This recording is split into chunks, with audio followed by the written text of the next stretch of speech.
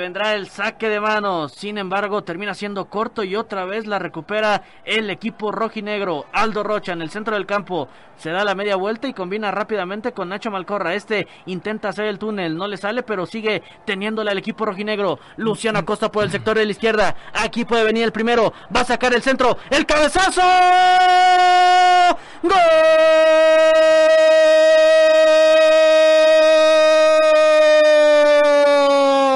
¡Gol del Atlas!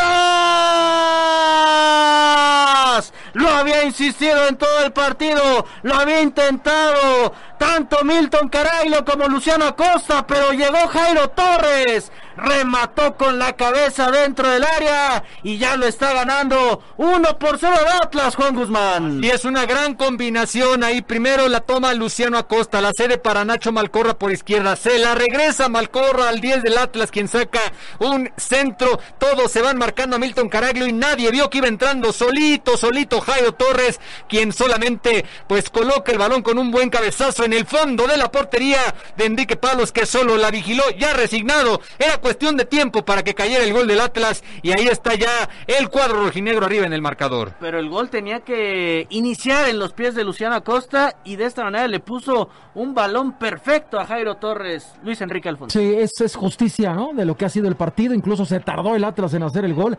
Creo que hay un pequeño desvío en el centro, alcanza a rozar Helio Castro.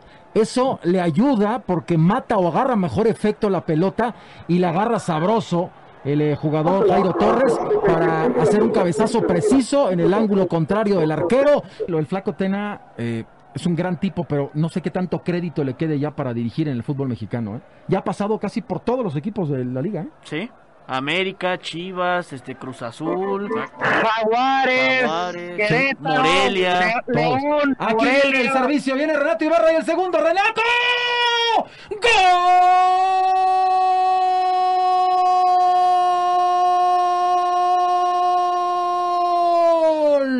del Atlas. En la última jugada, un pase filtrado. El balón queda botando en el área grande. Antes de que salga Enrique Palos, la cucharea, la levanta Renato Ibarra y clava el segundo, el segundo del partido, prácticamente para finiquitar absolutamente todo. Háganme caso, señores, les dije 2 por 0, crean un poquito en mí, Elías Quijada.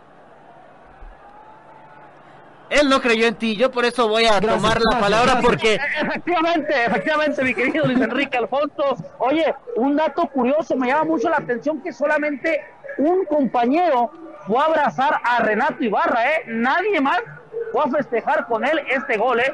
Atención con eso pues ya con todos los datos que nos ha dado Elías, que ha perdido la titularidad, que no lo tomaban mucho en cuenta, sí tendríamos que revisar todo eso, pero al final la jugada por velocidad es muy buena por parte de Renato Ibarra, le gana como todo el partido a la línea defensiva la espalda y termina definiendo con la pierna derecha ante la salida de Enrique Palos, lo habíamos platicado Juan, merecía Atlas por lo menos dos goles en este partido, si no es que más por lo bien que se desempeñó en la primera parte. La verdad, lo que sea de cada quien es que Atlas jugó mejor en la primera parte y pudo hacer tres, cuatro goles sin ningún problema. No los hizo, parece el segundo y hasta el último minuto. Un gran pase filtrado de Javier El Minio Navella. Y bueno, eh, Renato define a la salida de Enrique Palos con un gran toquecito. que vale la pena decir que hoy día cualquiera juega mejor que los Bravos de Juárez.